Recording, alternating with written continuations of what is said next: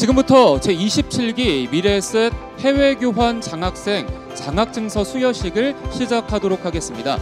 우리 미래셋 박현주 재단 장학생 여러분 안녕하세요. 어, 많이 배우고 많이 느끼고 해오시고 그리고 앞으로도 여러분들의 어, 성장에 많은 도움이 되는 그런 계기가 되길 바랍니다.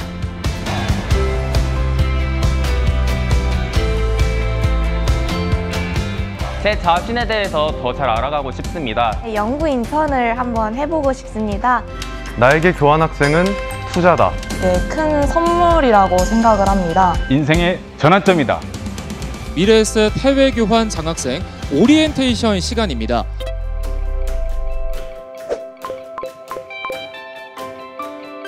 안전하게 교환학생 해- 생활하시고 돌아오시길 바라겠습니다.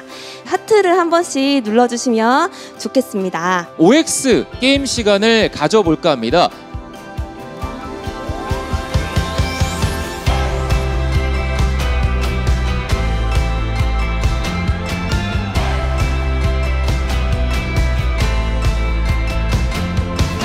제27기 장학생 여러분 안녕하세요.